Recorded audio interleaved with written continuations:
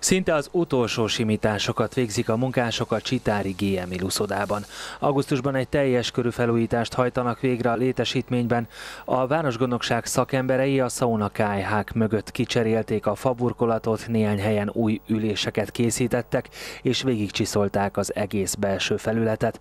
A medence alatt található gépházban pedig a csövek javításán túl a három keringető szivattyút is kicserélték.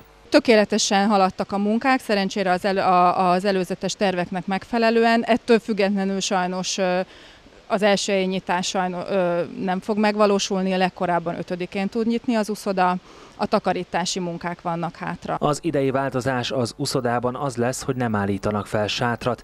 A városban működő sportegyesületek ezért az edzéseket esténként tartják. Ezekben az időpontokban civilek nem látogathatják majd az uszoda területét, csak a szaunát vehetik igénybe.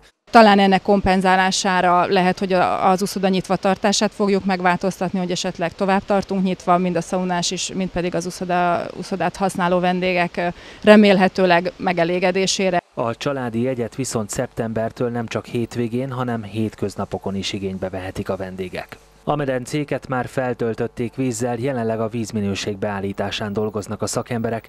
A tiszti orvosi szolgálat ezután mintát vesz a vízből, és ha a minőség megfelelőnek bizonyul, ismét megnyithatja kapuit a városi úszoda.